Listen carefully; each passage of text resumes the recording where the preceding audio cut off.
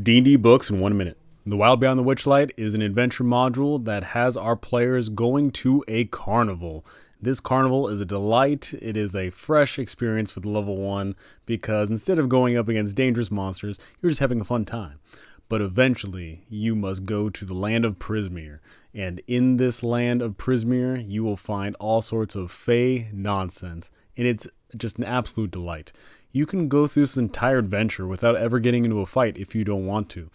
As your players are exploring around, they get to interact with a whole bunch of awesome, unique named NPCs, but are also dealing with a terrible foe of three hags that have taken over the land of Prismeer.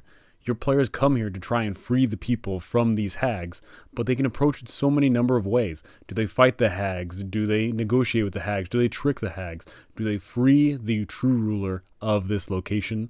Or will your players see Prismeer fall to the hags?